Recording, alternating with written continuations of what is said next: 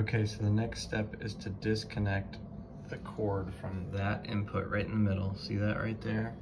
That was plugged in right there. So you unplug that, you loosen these screws with Phillips head, and the whole thing will come apart. So it's gonna be a little challenging with one hand.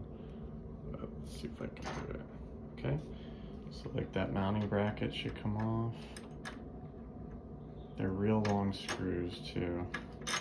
Okay, so there you go, and then you just kind of feed that through here, through the hole, which once again is hard to do with one hand, sorry guys. But you get that idea, so that's all loose, so that's good. And then that's just sitting in there. So now you've gotta come around to this side. Should just pull right through. There you go. Make sure to be careful with your lock, that kind of falls loose. And there you go. Um, obviously I gotta pull that little cord through there that's how you get it out. Pretty simple, took about two minutes. All you need is a Phillips head. Thanks for watching.